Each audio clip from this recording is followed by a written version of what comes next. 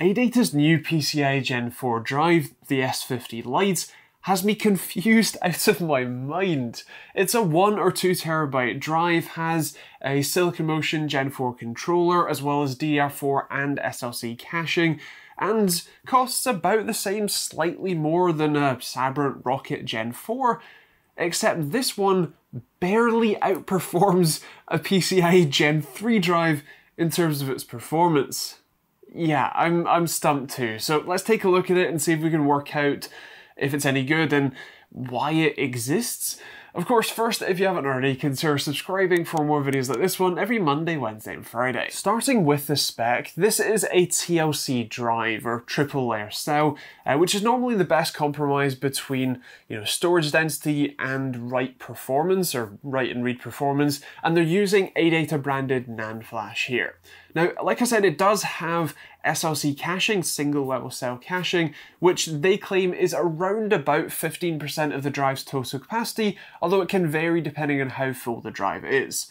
In my testing with a near empty drive, the, ca the caching amount was more like 10% or around 100 gigs from my 1 terabyte model instead of the claimed, I suppose, 150, but I didn't test it across the entire capacity of the drive, if that makes sense. It also has DDR4 for caching, as well as using an SM2267 controller, which is Silicon Motion's effectively budget-oriented controller, which can offer up to 3.9 gigabytes per second in reads and 3.5 gigabytes per second in writes, although this drive didn't quite reach that. The drive itself comes with a thin metal heat spreader glued on to the sort of top side, the, the controller side, which is the side you normally want cooling anyway, and that actually did an okay job at keeping the drive under the 75 degrees Celsius of smart thermal throttling temperature, uh, and as long as you have a reasonable amount of airflow, you should be fine with that.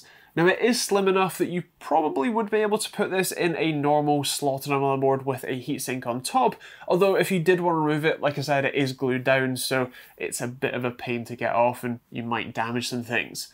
Now it is a double-sided drive and on this 1TB model there are two NAND flash chips on the reverse of the, the back side with a you know, paper sticker on top. Uh, but they don't get overly hot and generally NAND flash doesn't need to be cooled anyway, so that's all good. Otherwise, it is a standard drive. It's a 2280 in size, so fits in pretty much any laptop or uh, you know standard motherboard you want. Although you will want to make sure that you're using a, a PCIe Gen 4 compatible board, which at the time of filming is only an AMD B550 or X570 board with a Ryzen 3000 or 5000 CPU. And that's pretty much it. Of course, that will change over time, but if you want to get the most out of the drive, you need to be using one of those boards and CPUs. So that's the drive, but what about its performance? Well, in the synthetic tests, in a, sort of best case scenario, think one megabyte blocks at a queue depth of four, it can reach around about 3 gigabytes per second in reads and about 3.2 gigabytes per second in writes, although especially on the write side of things, that is a fair bit off what the maximum quoted the controller can do. It is, however, pretty much on point for what ADATA say this drive can do, so I guess that's down to their configuration of how they've set up the drive and the NAND flash that they're using. And in a more pessimistic test like AS SSD, in sequential reads, it reckons more like 3.4 gigabytes per second and 2.95 gigabytes per second in writes, aka pretty much a Gen 3 drive. Now, in the, the sort of uh, random tests and the more difficult to transfer, I have found in pretty much all of my Gen 4 SSD testing that they really aren't much, if any, better than a good quality Gen 3 drive for the moment, as most of the controllers that we've seen, especially the, the, the Phison one, is pretty much just the Gen 3 version, but with its band, uh, bandwidth cap increased effectively, so you can get higher top end speeds, but down at the low end, you don't really see much difference, and that's the same here. In my file transfer stress test, where I'm duplicating a set of files around about 85, 90 gigabytes uh, on the drive itself, so you, are stressing the reads and writes simultaneously, that uh, we're seeing about, actually a little bit over one gigabyte per second, which is a pretty good result for, for this test having it sit, especially from the, the full first 80, 85 gigabytes of copy, it was sitting above 1 gigabyte per second for the majority of the test, pretty much exactly how you would expect it to, and so that's pretty decent. The thing is though, if you were to copy more than the SLC cache amount, which like I said is about 100 gigabytes, the performance drops off a cliff. It varied anywhere between 200 megabytes per second and about 800 megabytes per second, averaging somewhere in the middle to 3 or 400. But that's not fantastic considering that, like I said, in full fat performance, it's over 1 gigabyte per second. And it gets even worse because after I copied around about three, uh, 450 gigabytes of data, the last 100, 150 was incredibly slow and it was decreasing as it went on. It got to the point where towards the last, say, 50 gigs, it was copying at 100 to 200 megabytes per second with bursts up to about 3, but not much more than that.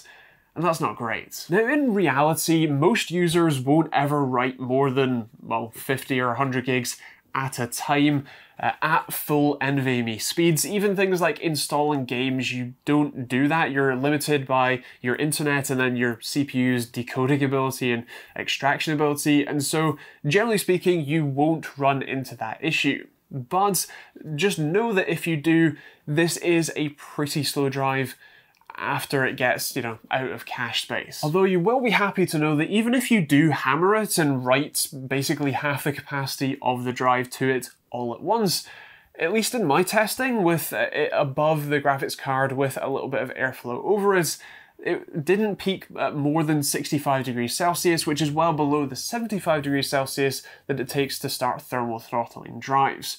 Uh, like I said, that was above the GPU, and so if you're having yours under your graphics card, you might have a bit more heat under there and a bit more uh, difficulty, but I don't expect it to thermal throttle too readily. But all of that doesn't really explain or answer the question of why this thing uh, actually exists, right? Like, it's a PCI Gen 4 drive, which means you can only use it in a small subset of motherboards to get the full performance out of it, and yet it's barely faster than a good Gen 3 one, and costs ever so slightly more than the early set of Gen 4 drives like the Sabrent one that perform much better.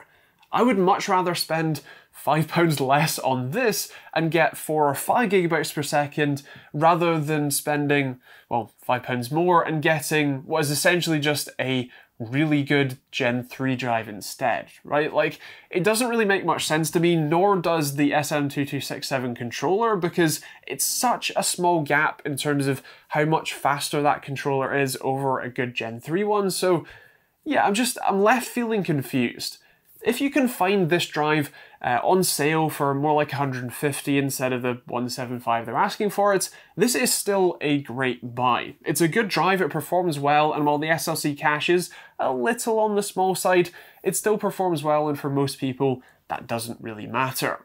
But at MSRP, yeah, I think I'd probably give this one a pass. Now with that said, those are my thoughts, but I would love to hear yours in the comments down below. Is this a drive you'd pick up yourself?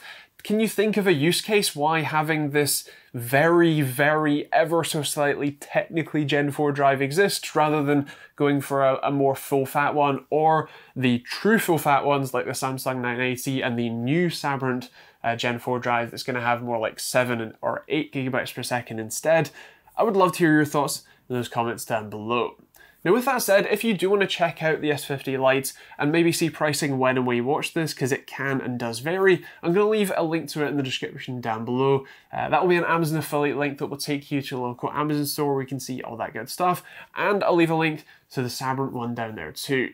Otherwise, that is pretty much it. There are plenty of other links in the description you can check out, from merch or hoodies or t-shirts like this one. You can get sponsor-free videos and access to our Money Men Discord chat via Patreon, and there's a load of other affiliate links if you're buying from places like Overclockers UK, feel free to do that, and a load of other stuff too.